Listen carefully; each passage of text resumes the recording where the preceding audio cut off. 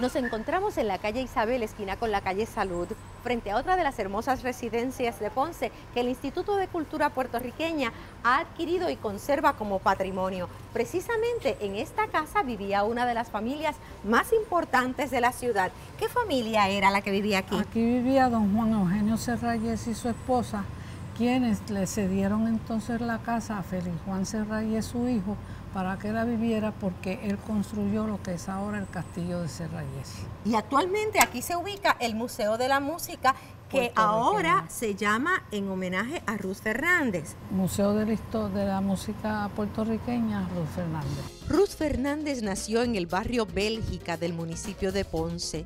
Su carrera profesional comenzó a los 16 años de edad cantando en emisoras radiales. A los 22 ya fue contratada por Columbia Records, con quien grabó su primer hit, titulado Cuando vuelvas. Su excelente voz la llevó a presentarse en el Carnegie Hall de Nueva York, así como en muchos otros países. En el año 1972 fue electa al Senado de Puerto Rico. ¿Qué elementos arquitectónicos le dan particularidad a esta casa de los Serrayes? Esta casa, al igual que otras casas del arquitecto Viechers, eh, tiene muchos elementos neoclásicos y barrocos. Sin embargo, este espacio en el que estamos caminando es muy típico de esta residencia. es un espacio con función de sala informal. Eh, yo me imagino aquí que se reunían para hacer tertulias, tocar instrumentos musicales. Era una convivencia entre lo público y lo privado ya que tenemos la conexión al patio que lo podemos ver a través de las casas. Los patios eran muy importantes en estas residencias, a pesar de que las casas estaban pegadas a la calle, esto nos permitía a tener como un pulmón en la parte trasera donde siempre habían árboles muy frondosos, era como un pulmón para la ventilación de la residencia.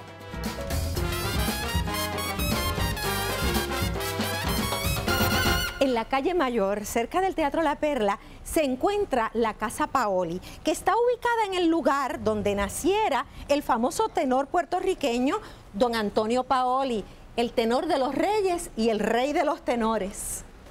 ¿Cómo es que en este lugar, pero no en esta casa, fue que nació Antonio Paoli? Lo que pasa es que era una casa, una edificación de dos plantas, ¿verdad? de dos pisos, y en el 1908 el primer, la primera parte se deteriora, que era de madera, y entonces en el 1914, don Manuel Bedómenes diseña la estructura actual a base de los cimientos que habían de la casa antigua. ¿Y qué estilo arquitectónico es el que predomina en esta estructura? Bueno, sería más bien como le llaman criollo porque tiene distintas características vinculadas al mundo europeo, pero también a la arquitectura de Puerto Rico. ¿Y qué uso se le está dando actualmente? Porque aquí veo una exposición de grabados, veo unas instalaciones. ¿Qué uso se le da a esta estructura actualmente? Bueno, actualmente nosotros tenemos aquí un centro de investigaciones folclóricas de Puerto Rico y también tenemos proyectos vinculados a los niños. Esto que tú ves aquí es una exposición de lo que hacemos con los niños en el proyecto Maíz con el apoyo del gobierno municipal autónomo de Ponce. De manera que es un sitio vivo donde la gente acude. Sí, porque nosotros no creemos que esto sea una cosa muerta, tiene que ser una cosa viva donde la gente hace, haga cultura, porque la cultura la hace la gente, no la hacen los animales. Maravilloso. Así que tú ves estampas que hay de el material vinculado a, lo que hacen los niños en los barrios más humildes de Ponce. Mm. Esos son grabados en linóleo. Y con esto se imprime en tela, se imprime en papel. En papel, en cualquier material que tú quieras, y entonces sale este diseño que es la estampa, eh, la estampa que llaman, que está aquí. Hecho por niños, es un proyecto de 6 hasta 18 años, así que hay niños y hay jóvenes también, ¿verdad? O sea que una vez más vemos la historia y la vida. Y la vida, El presente y el pasado de la mano. Claro, los cuartos que habían de, ellos como familia se convirtieron en oficinas, en talleres, se convirtieron en lugares, bibliotecas, donde la gente puede verdaderamente hacer cultura.